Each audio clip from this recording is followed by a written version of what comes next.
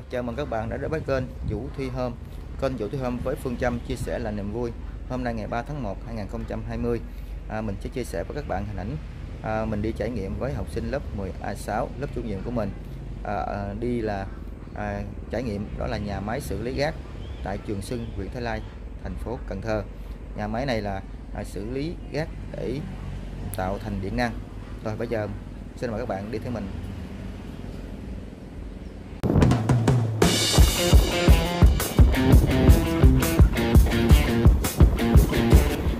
Chúng ta đang đi đến xã Trường Xuân, huyện Thới Lai, thành phố Cần Thơ để đến nhà để đi đến nhà máy xử lý rác chúng ta cần trải nghiệm.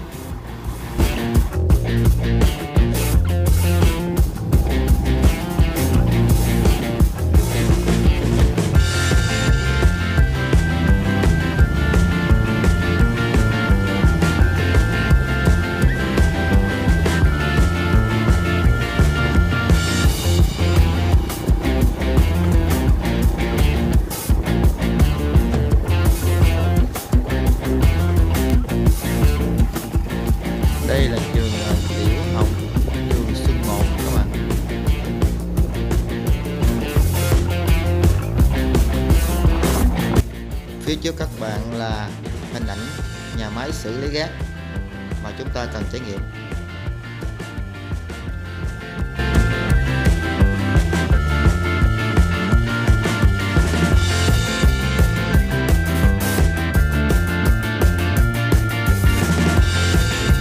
Học trò sinh lớp 10 A6 à, đang chạy phía sau các bạn.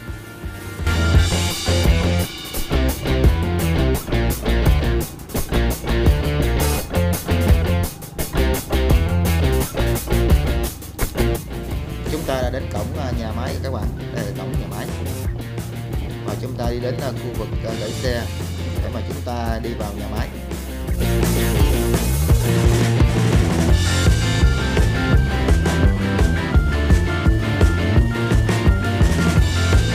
Rồi. Tới. Các bạn mình đang đứng trước tại công ty công ty năng lượng môi trường Cần Thơ à, tại à, Trường Xuân.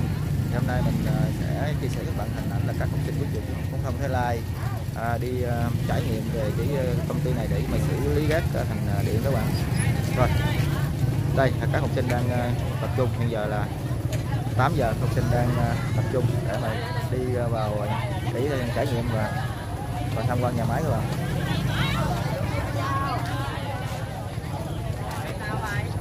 Rồi bây giờ mình ờ, các bạn đi theo mình để bạn học sinh của trường học Thái Lai để mà à, tham quan và trải nghiệm.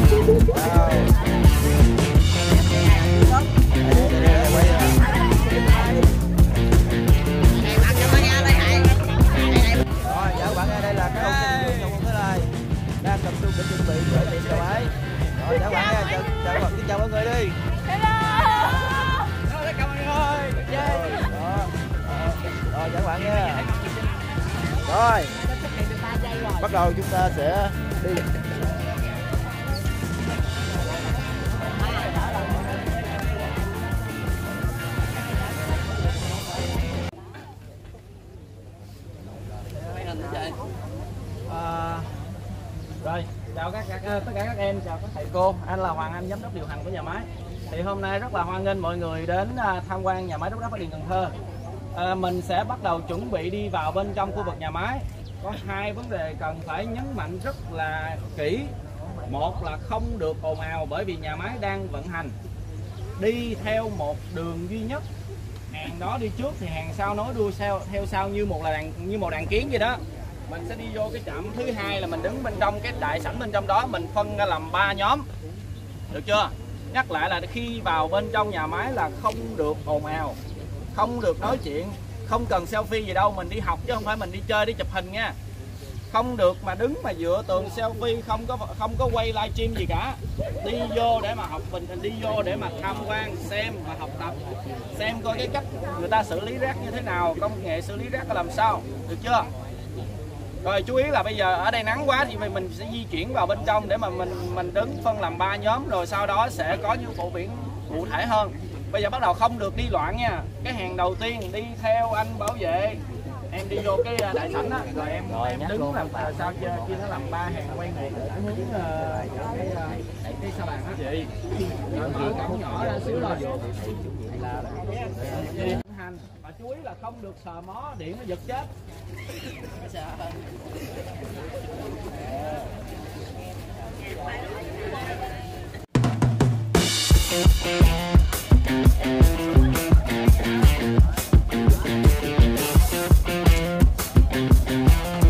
Rồi, đi trật tự nha.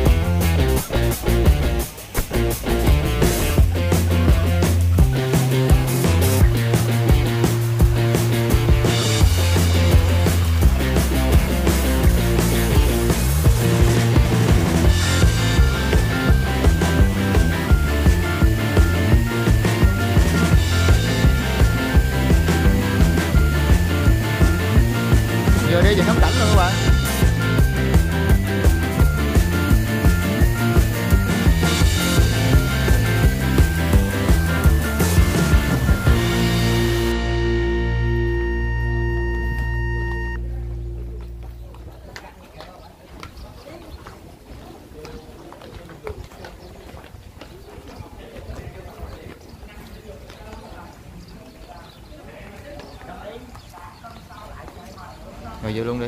Rồi cho nó vô.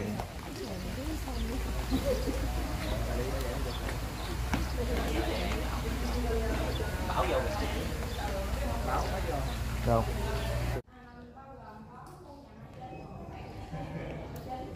À các học sinh à, đang được nghe cái vị trí của các cái cái à, khu xử lý rác, các bạn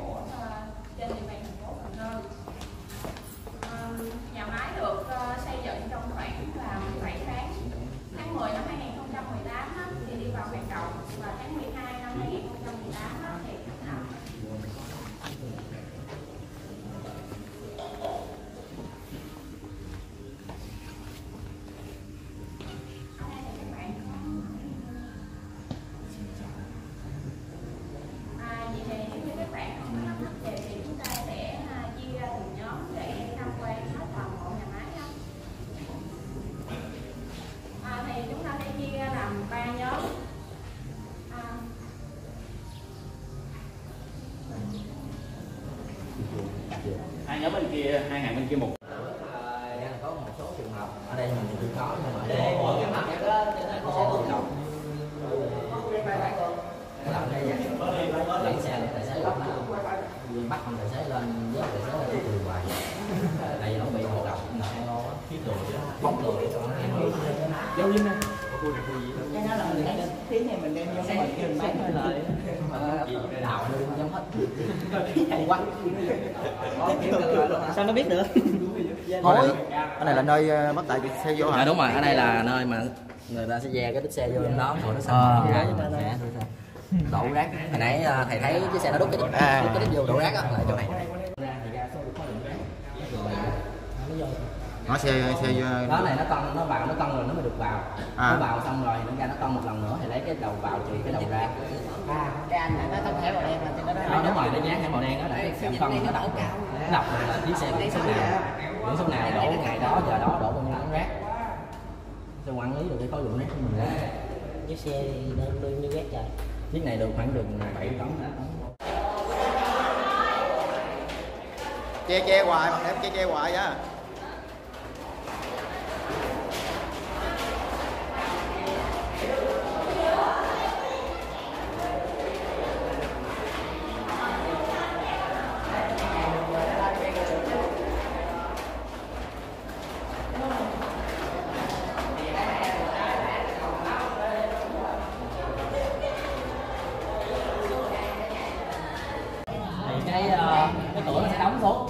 nó, nó tính ở dưới bên ngoài nó tính ở dưới bên ngoài. Và cái áp suất ở trong cái thau rác thì nó âm, so với bên ngoài. Thì khi mà mở cái cửa lên á thì như các bạn biết á thì ở trong này áp suất âm tức là không khí nó ít. Thì không khí nó sẽ có xu hướng là tràn từ cái nơi nhiều về cái nơi ít. Cho nên là nó sẽ tạo một cái luồng gió từ ngoài vào. Cho nên là mùi nó không có bay ra ngoài. Đảm bảo là đặc biệt là mọi người nãy giờ đi vòng vòng trong khu này nó không có bao giờ bị mùi nữa là nó sử dụng cái áp suất âm trong cái kho rác này như là ví dụ áp suất ở đây là một ngàn thì áp suất trong đó khoảng chín trăm để cho nó tạo một cái luồng khí từ bên ngoài tràn vào, không có để cho cái mùi hôi từ bên trong tràn ra nó sẽ sinh ra mùi á, thì những cái mùi nó sẽ được gom lại và đưa vô cái kho rác này. Thì à, nó đưa vào lò, đốt luôn. Thì những cái mùi hôi thực chất là nó là những cái chất hữu cơ những cái chất hữu cơ. Thì những cái chất hữu cơ đó thì sau khi đốt ra thì nó dẫn phân hủy thành CO2 nước. Và một số cái ờ, cái cái nguyên một cái số hợp chất của nguyên tố khác như là lưu huỳnh hoặc là clo hay là nitơ gì đó. Thì những cái đó sẽ được xử lý và nhiễm bạc thì ờ, các bạn ở đây bạn sẽ có cái nhiệm vụ là bạn sẽ phân loại ra rác nào là rác mới rác nào là rác cũ rác nào là rác mà có thể đưa vào lò được. Khi đó thì ờ, cái nào đưa vào lò thì đưa vào lò cái nào để tiếp tục ủ cái nào chưa đủ thời gian thì tiếp tục ủ thì ở dưới dưới đáy của cái uh, cái kho rác này sẽ có một hệ thống thu nước thu nước rỉ rác. Nước rỉ rác nó sẽ nó sẽ nó sẽ lắng xuống dưới nó sẽ thu vào cái hố để bơm cái khu ờ, xử lý. Nước thì mất mất tới nha. là xử lý. Nước thải tử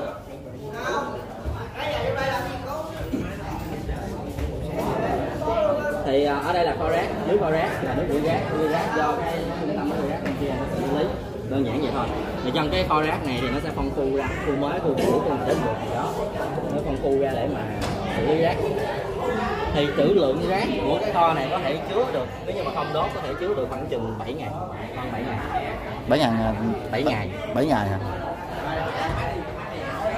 Ồ cái gì coi một gầu như vậy các bạn thấy. Các bạn đoán khoảng một gầu như vậy là khoảng bao lâu bao, bao nặng nặng bao nhiêu? Một cái gấp như vậy các bạn đoán. Ký bao nhiêu? Bao nhiêu các bạn đoán lại đó. Bao nhiêu hỏi bạn này nè. Nhiêu huy. 5 tấn. Còn Ồ. gấp vậy là 5 tấn. Như năm tấn hả? Khoảng 5 tấn cộng trừ tí xíu. Đúng nhưng rồi. mà gầu gấp vậy là 5 tấn. Ủa gác cơ gấp gì rồi không có phân loại ra Ờ, tại vì phân loại là mình đây là phân loại tại nguồn. À. cho nên là đủ tí gác trơn nha rác sinh hoạt rồi. Đủ thứ trơn nha thì đúng là nói là phân loại tại nguồn nhưng mà Thơ làm không có tốt cái công tác phân loại. Phân loại là của thành phố Cần Thơ là thực hiện nhưng mà hiện tại thì không có tốt. Cho nên là rác như này cũng ngon.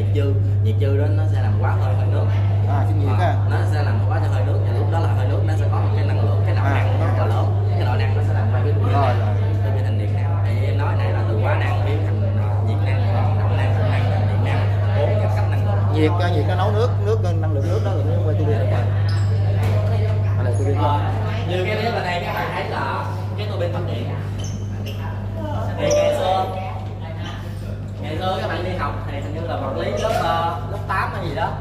Vật lý lớp tám thì nó có nói là khi mà bạn quay cái 500 thì cái 500 nó đổi chiều nó sinh ra cái dòng điện. Thì uh, cái máy phát điện thì là cái nguyên lý cơ bản nhất thì cái máy phát điện là như vậy. Thì làm sao để nó quay? Nó làm cái nội năng nó hơi nước hơi nước nó có cái năng lượng rất là lớn. Nó có thể làm quay được một cụm máy lớn như thế này nó phát ra cái dòng điện đó các bạn hiểu nguyên lý chưa các bạn?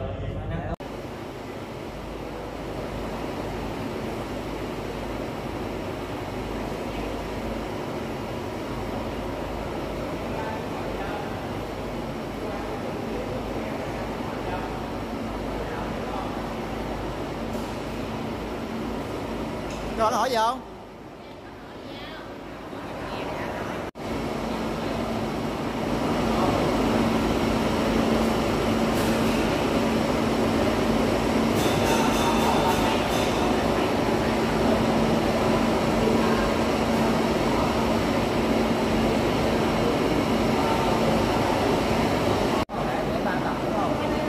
Lần đầu tiên giá này, lần thứ hai cái này, còn thứ ba là giá này.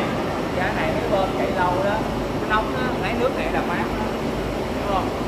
Chưa hệ nước chưa chưa.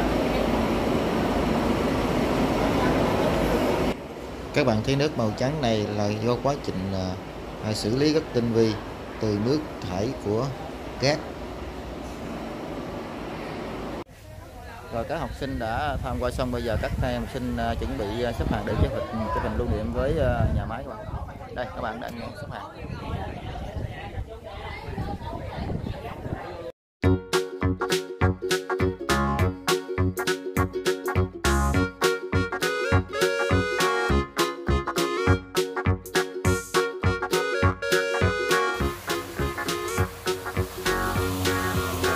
Đi theo hàng coi, đi theo hàng, đi theo hàng. nhanh cho đẹp ơi rồi các bạn ờ, về an toàn nha. Rồi cảm ơn các bạn nhiều nha. Rồi nhớ viết bài báo cáo nha. Cảm nghĩ gì nhà, nhà máy này nha.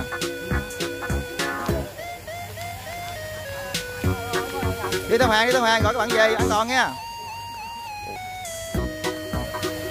Rồi chào các bạn chào các bạn. Rồi cảm ơn các bạn nha.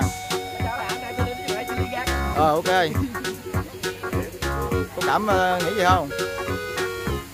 Rồi các bạn ờ, về viết bài báo cáo ờ, để nộp nha. Cảm nghĩ về uh, ô rất là mát.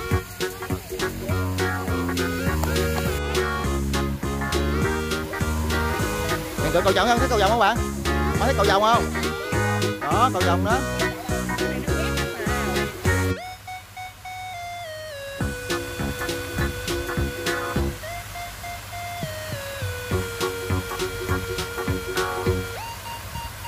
Rồi, các bạn đã tham quan à, xong các bạn à, ra về.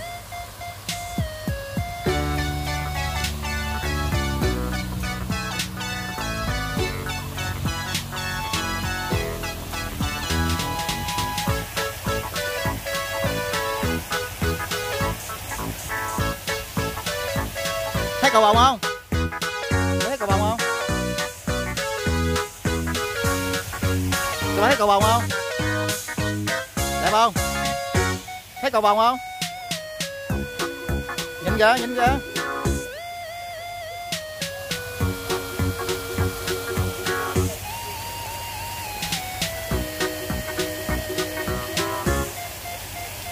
rồi về viết bài báo cáo nha các bạn. Viết báo cáo gì về, về máy nha.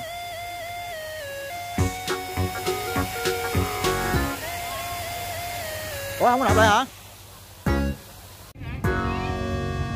Các bạn à, tham quan nhà máy xong giữa các bạn chuẩn bị ra về, kết thúc một buổi à, trải nghiệm à, với nhiều cái vấn đề rất là thú vị.